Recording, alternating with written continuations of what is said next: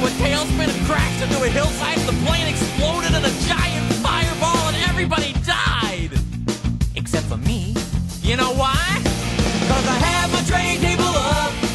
and my seat back in the full upright position. Have my tray table up.